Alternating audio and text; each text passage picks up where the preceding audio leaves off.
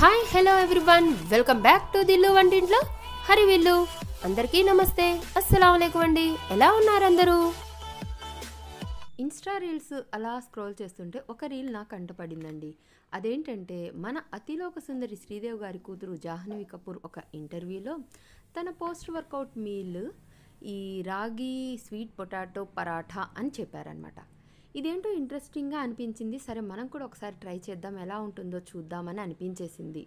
అనుకున్నదే తడవు. చేసేయటమే కదా మనం. సో చేసేసాను. చాలా అంటే చాలా ఎమ్మిగా ఉంది. ఎలా చేశానో మీకు కూడా చూపిస్తాను. పదండి.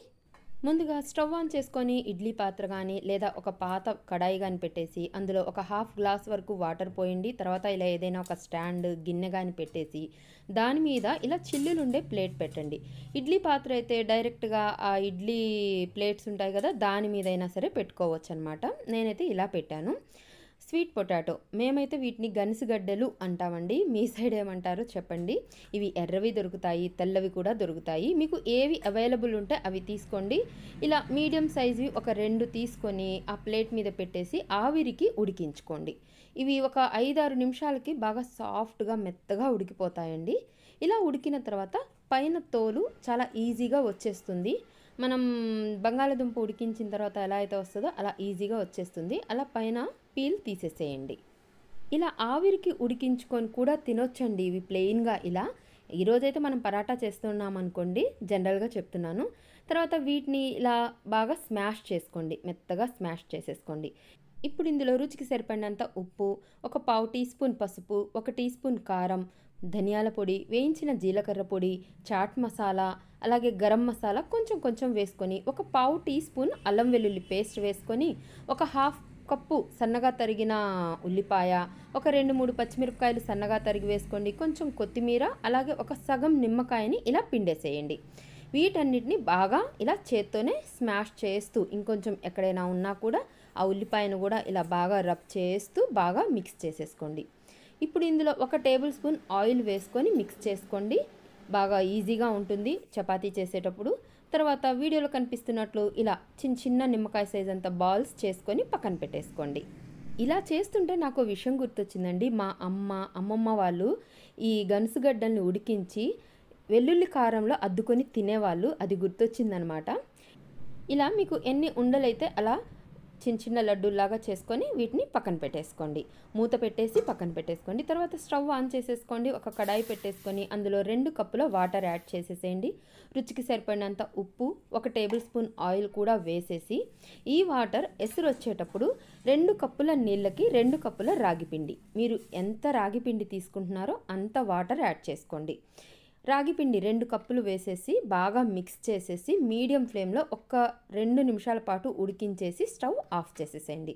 ఇప్పుడు ఇది వేడిగా ఉంది కదా కొంచెం చల్లార్చుకోండి. ఇలా కలుపుకుంటూ చల్లార్చుకున్న తర్వాత చేత్తోనే బాగా కలుపుకోండి. ఎంత కలిపితే మీకు చపాతి అంత బాగా వస్తుందన్నమాట. చూడండి ఇలా మెత్తగా సాఫ్ట్గా అవ్వాలి. ఇప్పుడు ఇందులో నుంచి ఒక చిన్న చపాతీ సైజ్ అంత ముద్ద తీసుకోండి. దీన్ని ఇలా రౌండ్గా చేసుకొని దీన్ని ఒక గిన్నెలాగా ఇలా వీడియోలో కనిపిస్తున్నట్లు చేసుకొని మనం ఆల్రెడీ చేసి పెట్టుకున్న ఈ స్వీట్ పొటాటో ముద్దని పెట్టేసి వీడియోలో కనిపిస్తున్నట్లు ఇలా క్లోజ్ చేసేసేయండి. అది లోపల స్టఫ్ లాగా పెట్టేసి పైనుంచి ఈ రాగి పిండితో క్లోజ్ చేసేసి దీన్ని బాగా రౌండ్గా బాల్ లాగా ఇలా చుట్టుకోండి. ఇలా చేసుకున్న తర్వాత కొంచెం పొడిపిండి అద్దుకుంటూ దీన్ని చపాతీలాగా సాగదీసుకోండి. మరీ మీ బలమంతా ఉపయోగించి చేయకుండా కొంచెం స్మూత్గా హ్యాండిల్ చేయండి. పై పైన ఇలా చేయండి. లోపల ఉన్న స్టఫింగ్ బయటికి రాకుండా సాగదీసుకోండి. కొంచెం మందంగానే వస్తుంది ఇది. నేను మరొక వైపు స్టవ్ ఆన్ చేసి పెనం పెట్టేశాను. పెనం వేడెక్కిన తర్వాత మనం చేసి పెట్టుకున్న ఈ రొట్టెని వేసేసి మీడియం ఫ్లేమ్లో రెండు వైపులా దోరగా కాల్చుకోండి. మధ్యలో కొంచెం నెయ్యి అప్లై చేస్తూ కాల్చుకోండి. టేస్టీగా ఉంటాయి. నూనె కంటే కూడా నెయ్యి చాలా బాగుంటుంది. మీకు ఏది నచ్చితే అది వేసి కాల్చేసుకోండి. ఇది కాలడానికి కొంచెం టైం పడుతుంది. ఒక ఐదారు నిమిషాలు ఈజీగా పడుతుంది అనమాట ఇలా బాగా కాల్చుకున్న తర్వాత ప్లేట్లోకి తీసుకోండి. నేను ఇంకొకటి చేసి చూపిస్తున్నాను. ఈ రాగి పిండిని మీరు ఎంత ఒత్తుకుంటే చపాతీ అంత బాగా వస్తుంది అంత సాఫ్ట్గా వస్తుంది. జస్ట్ ఒక్కసారి కలిపేసి పిండి తీసేసుకొని చేస్తే మీకు రొట్టె అనేది విరుగుతుందనమాట కాబట్టి బాగా ఒత్తుకోండి. అలాగే చపాతీ చేయడానికి తీసుకున్నప్పుడల్లా ఒకటి రెండు సార్లు కొంచెం అలా బాగా కలిపేసుకొని అప్పుడు చపాతీ చేసుకోండి. చాలా ఈజీగా చేయొచ్చు. ఇది ఒక హెల్దీ రెసిపీ అండి. డిన్నర్లో కానీ మార్నింగ్ బ్రేక్ఫాస్ట్లో కానీ చాలా బాగుంటుంది. దీనికి కాంబినేషన్గా ఏ కర్రీతో అయినా తినొచ్చు లేదా ఇలాగే ప్లెయిన్గా తినొచ్చు రైతాతో అయినా తినొచ్చు అనమాట నేను ఇంట్లో ఆలు కుర్మా చేశాను కాబట్టి దాంతో సర్వ్ చేశానండి. టేస్ట్ అయితే అల్టిమేటెడ్ అండి. చాలా బాగుంది. షుగర్ పేషెంట్స్ కానివ్వండి డైట్లో ఉండేవాళ్ళు ఎవరైనా తినొచ్చు. అంత బాగుంది. నిజంగా చెప్తున్నాను. ఒకసారి ఇది ట్రై చేసి చూడండి. ట్రై చేశాక ఎలా వచ్చిందో నాకు కామెంట్ చేస్తారు కదూ.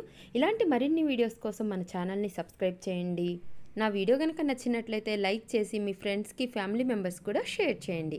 థ్యాంక్ యూ అండి. Thank you so much. మీ దిల్లు వంటింట్లో హరివిల్లు.